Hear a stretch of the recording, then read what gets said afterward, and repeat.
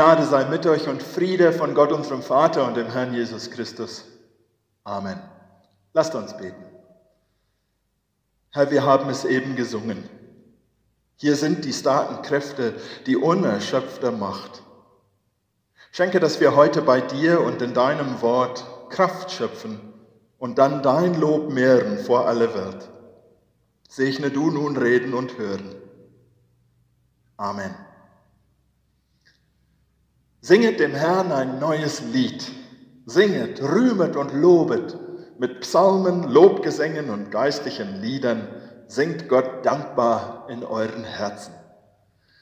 Diese Bibelworte haben wir heute in diesem Gottesdienst schon gehört. Manche von sie mehr als einmal. Und der Predigtext für heute aus dem zweiten Buch der Chronik, Kapitel 5, den ich nicht ganz vorlesen werde, spricht auch von der Musik. Da steht, alle Leviten, die Sänger waren, standen östlich vom Altar mit Zimbeln, Psalter und Hafen und bei ihnen 120 Priester, die mit Trompeten bliesen. Und es war, als wäre es eine, der trompetete und sänge, als hörte man eine Stimme loben und danken dem Herrn. Und als sich die Stimme der Trompeten, Zimbeln und Seitenspieler erhob, und man den Herrn lobte. Er ist gütig und seine Barmherzigkeit währt ewig. Da wurde das Haus des Herrn voll. Die Botschaft für diesen Sonntag ist deutlich. Kantate, singet. Warum denn eigentlich singen und musizieren? Die Bibel spricht so oft von Musik und Singen, dass wenn ich euch alle Verse, die davon sprechen, vorlesen würde, dann würde das über fünf Stunden lang dauern. Das werde ich jetzt nicht tun, aber wenn ich es tun würde, dann würdet ihr auf die Frage, ist die Musik und das Singen denn so wichtig, ein ganz deutliches Ja hören. Diese ganzen Verse in der Bibel sagen uns, dass die Musik eine ganz wichtige Rolle im Leben und im Glauben spielt.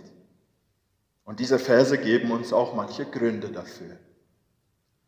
Als erstes, Musik gibt uns die Möglichkeit, um das, was wir fühlen, zum Ausdruck zu bringen.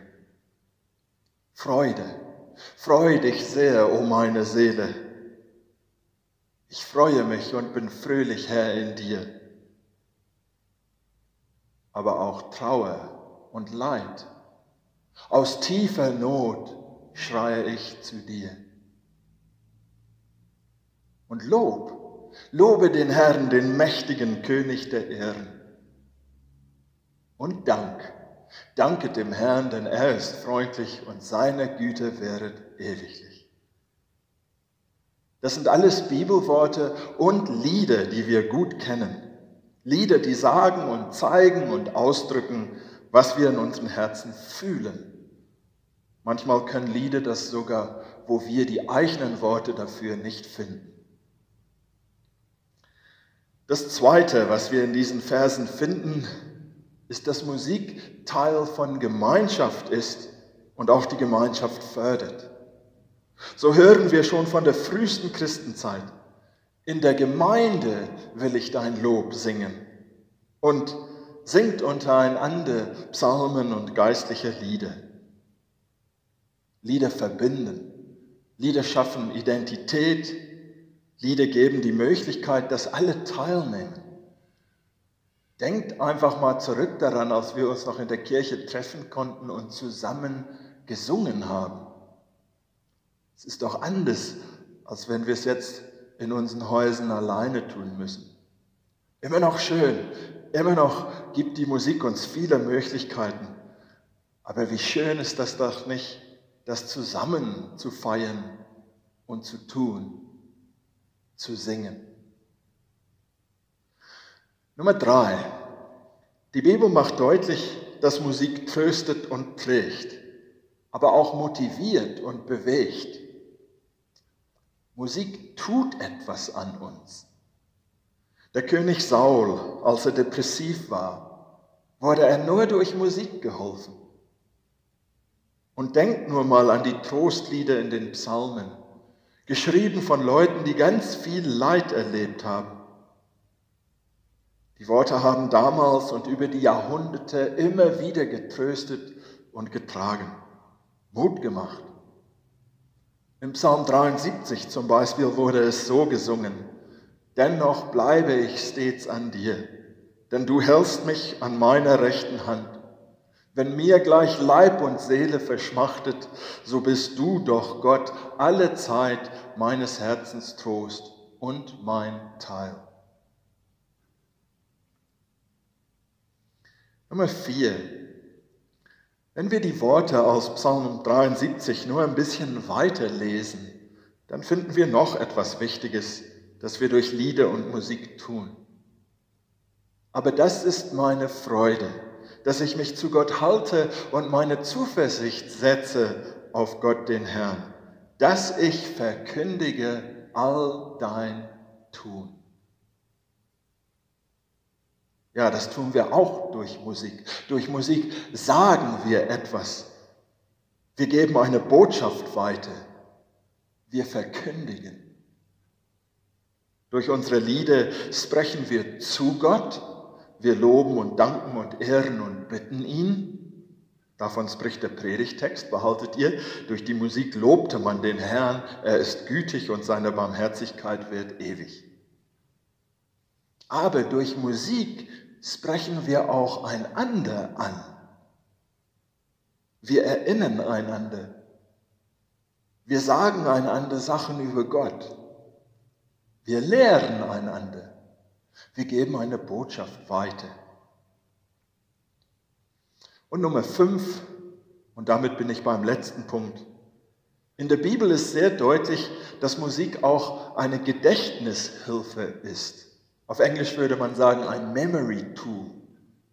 Die Leute haben Lieder gebraucht, um Sachen zu lehren, zu behalten, über die Generationen weiterzugeben. Damit hat Musik eine sehr wichtige Rolle gespielt und sie sollte es heute auch noch tun. Es ist wenigstens ein Grund, warum es so gut ist, auch Lieder auswendig zu lernen und zu kennen. Weil das, worüber sie sprechen, das ist dann tief in uns geprägt. Das sind die fünf Punkte. Musik hilft uns, um Gefühle und Gedanken auszudrücken und auszusprechen. Sie baut Gemeinschaft. Sie tut was an uns, bewegt was in uns, tröstet und trägt uns. Musik ist Verkündigung. Sie gibt eine Botschaft weiter. Durch Musik können wir Gott und einander was sagen. Und Musik hilft uns zu lernen und zu behalten. Wegen aller dieser Sachen ist Musik, sind unsere Lieder, ist das Singen und Musizieren wichtig. Unsere Lieder und unsere Musik helfen uns im Glauben und in Christus verwurzelt zu bleiben. Sie helfen, dass unsere Glaubenswurzel tief wächst.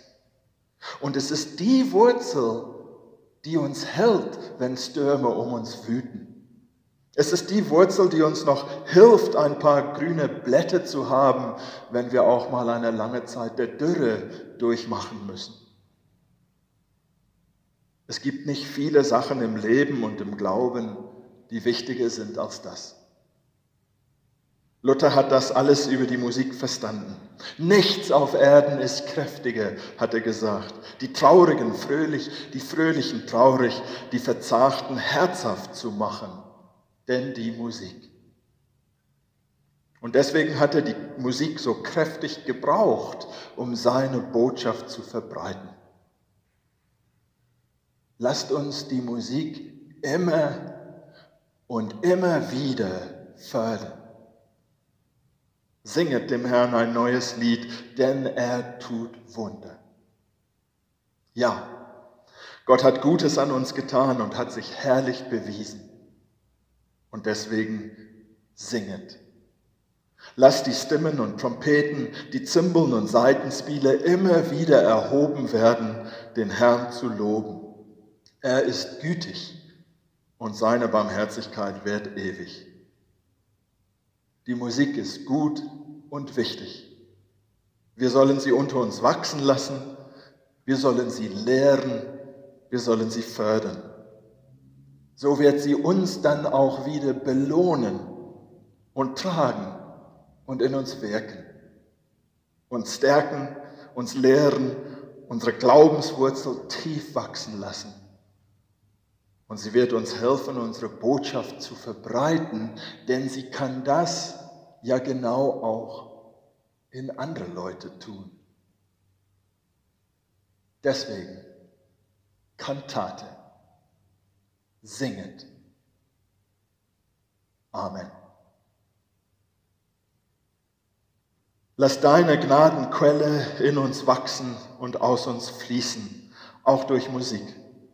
Schenke, Herr, dass es auch für uns stimmt, dass wir sagen können, ich singe dir mit Herz und Mund, Herr meines Herzens Lust.